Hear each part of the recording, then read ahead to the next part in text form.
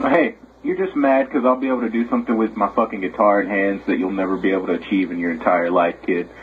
So yeah, you're gay.